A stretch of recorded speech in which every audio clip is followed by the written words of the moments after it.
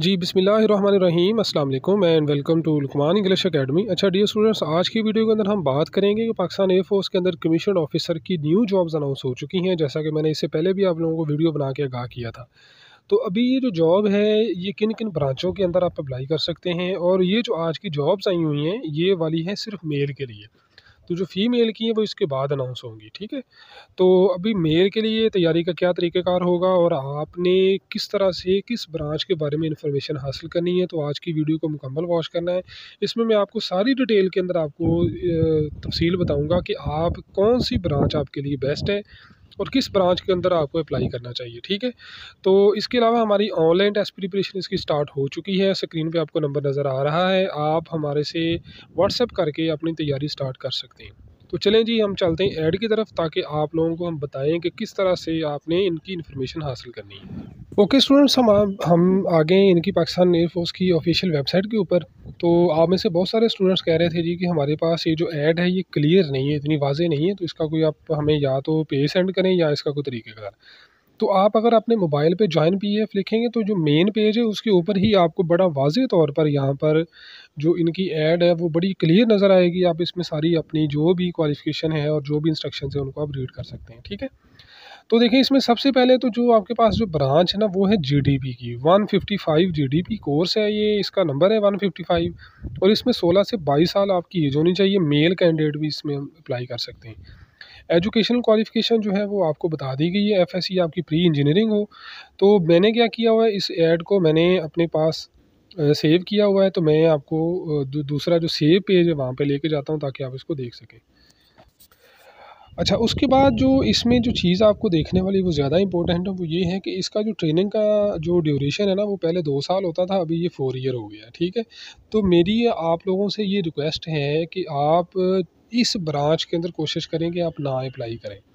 उसकी वजह ये है कि ये जो ब्रांच होती है ना नॉर्मली जो कैडेट स्टूडेंट्स होते हैं, जो सेवन क्लास से पाकिस्तान एयरफोर्स के स्कूल और कॉलेजेस में पढ़ रहे होते हैं तो ये ख़ास तौर पर ब्रांच उनके लिए होती है। तो जो सिविलियन होते हैं ना लोग, जो जैसे आप लोगों ने पहले तो इसका कोई आपका बैकग्राउंड नहीं होगा कोई, या आपने पहले कोई भी आपने कैडेट किसी कॉलेज या स्कूल में नहीं पढ़ा तो उस सूरत में फिर आपके लिए प्रॉब्लम होगी, ठीक है?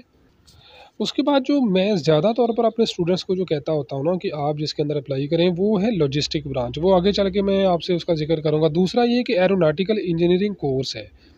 तो इसके अंदर अगर आपने अप्लाई करना है तो इसमें फ़र्क ये होगा, आपका 16 से 22 साल वही एज लिमिट है और इसमें जो आपके सब्जेक्ट्स हैं ना, वो F S C with chemistry आपका होना लाजमी है।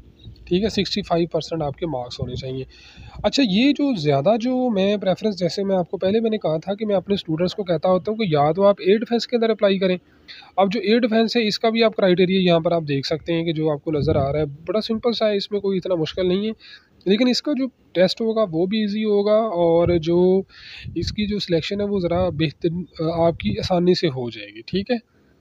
अच्छा उसके बाद जी एडमिन एंड स्पेशल ड्यूटीज़ हैं तो इसके अंदर भी आप अप्लाई करें, लेकिन ख़ास तौर पर जो मैं अपने स्टूडेंट्स को कहता होता हूँ कि वो ये कि आप लॉजिस्टिक ब्रांच के अंदर लाजमी अप्लाई करें, ठीक है?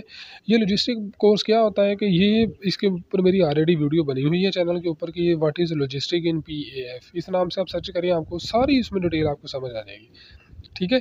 इसमें देखें, एक तो ये कि आपके सिक्सटी परसेंट आपके मार्क्स मांगे हुए हैं, ठीक है जी? तो उसके बाद जो यहाँ पर इसके बारे में दे दी गई आपको सारी कि आपका कंप्यूटर साइंस के अंदर भी अगर आपने एफएससी है मेडिकल में है या प्री इंजीनियरिंग में है, जिसमें भी है, आप उसमें अप्लाई कर सकते हैं। तो ये जो थी हमारी कैटेगरी ये वाली थी परमानेंट कमीशन की, इसको हम पीसी कहते हैं। दूसरी जो कैटेगरी थी, वो हमारी ये शॉर्ट सर्विसेज़ कमीशन की। अब ये शॉर्ट सर्विसेज़ क्या होती है? इसमें फ़र्क ये होता है कि ये मतलब कह लें कि पंद्रह साल की जॉब होती है और जो परमानेंट कमीशन है ये आप लॉन्ग टर्म अपनी रिटायरमेंट तक कर सकते हैं। अच्छा इसके अंदर जो एज लिमिट है वो भी ज़्यादा होगी, ठीक है? जो आपने चीज़ देखनी है वो ये है कि यहाँ से बाईस साल तक है और यहाँ पर आप तीस साल तक इसमें अप्लाई कर सकते हैं। इसमें आपको जो रैंक होता है वो फ्लाइंग ऑफिसर का मिलता है Pakistan air force Pakistan army के कैप्टन के बराबर। और इसमें जो आपकी एजुकेशन रिक्वायर्ड होती है, ये मास्टर डिग्री होती है, ठीक है? तो इसमें देख लें, आप अपनी कैटेगरी चेक करें कि आपके पास ये एजुकेशन है तो आप इसमें अप्लाई करें। ऐसे ही एडमिन स्पेशल जो ड्यूटीज़ हैं और इस तरह से लॉजिस्टिक ब्रांच है और ऐसे ही इंफॉर्मेशन और टेक्नोलॉजी जो आईटी से रिलेटेड है।